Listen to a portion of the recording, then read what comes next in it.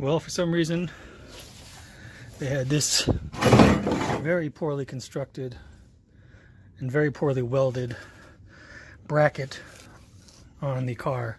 I assume it was for a um, air compressing tank, compressed air tank, uh, because this car had, it was bagged. So I think that's what this was for, but it's hideous. Whoever put it on there um, did a crappy job. Blowing holes through here. This was to put the, I believe to put the, um, to bolt the airbags to. So they did a crappy job there. Somebody blew a hole through here. It's going to have to be fixed.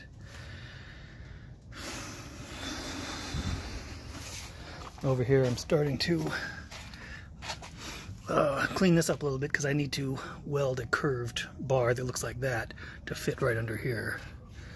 Because I'm replacing the pan with a frame. And in order to do that I have this tubing right here. This is 60 inches the long ones are 60 the short ones are 48 and then there's some crap in there, round tubing and the other stuff just to practice on. But I got to take one of these tubes, or one of these, probably one of these. I'm going to cut that down and make a S curve for the front of the car there to rest on.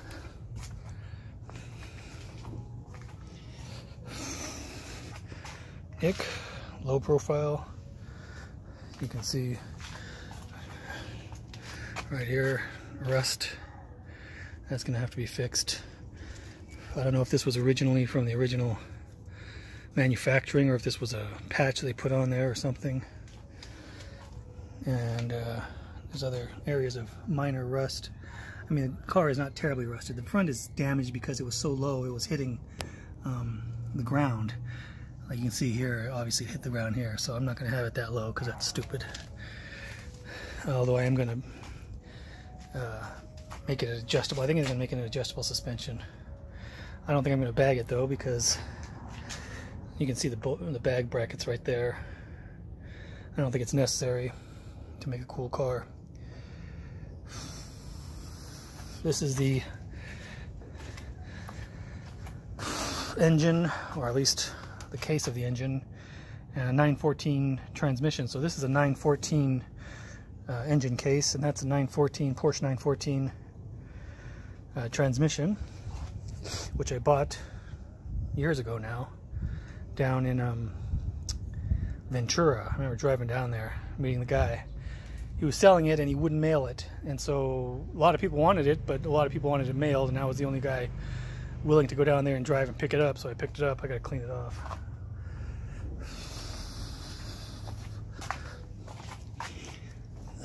And the reason, of course, is I, I, bought that instead of using the VW transmission is because I'm going to make this a mid-engine car. So the engine is actually going to be not in the rear like it used to be, but it's going to be, transmission is going to go probably right about there. It's probably where the um, drive rods or drive angles are coming out.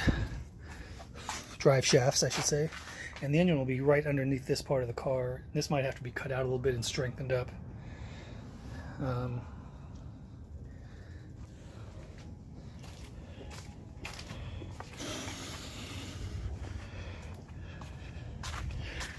there's a car, there's a VW engine I'm going to put into this VW bus. I'm going to put that back on the road. There are some fenders I have to work on. Trying to clean up my space here a little bit.